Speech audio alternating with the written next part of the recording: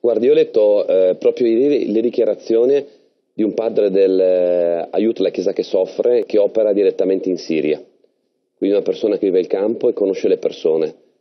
E purtroppo eh, l'Occidente, l'Europa in particolare, non sta facendo nulla per aiutare queste persone che vogliono rimanere nelle loro terre.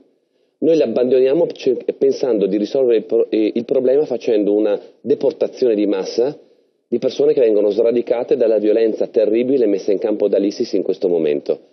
Perché invece non lavoriamo a livello internazionale nelle aree di quei paesi che non sono eh, soggette a guerra, penso al nord dell'Iraq, penso a quell'area Quello, della Siria. Quelle non soggette a guerra è l'altro No, per cercare discorso, di creare, dei, no, ma dico, per cercare di, di, di, creare in queste aree dei villaggi protetti dove perlomeno la gente non è sradicata dalle proprie radici, dalla propria terra, dal proprio paese eh, lavoriamo in questa direzione, capisco che non è una soluzione che si può mettere in campo dall'oggi al domani. No, più che altro e altrettanto eh, dico, i siriani sono andati con i cartelli no, mamma scusi, Merkel. Eh, eh scusi, e altrettanto dico che chi scappa da una guerra deve essere tutelato. Ricordo, come avrete fatto sicuramente in precedenza, che la percentuale però eh, per quanto riguarda il nostro paese di siriani lo scorso anno, di chi ha fatto domanda, su 170.000 arrivi, sapete quanti sono stati gli siriani che hanno fatto domanda di rifugiato politico in Italia?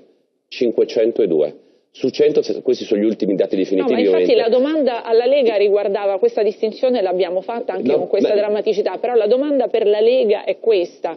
Rispetto ai rifugiati, cioè a questa categoria di persone, anche su questi siete no, per... No, chi scappa dalla guerra, l'ha sempre detto anche Salvini, ha, ha, diritto di essere protetto. Capiamo qual è la migliore soluzione da proporgli, se è quella, ripeto, di una deportazione di massa dai loro paesi o da un intervento anche di tutela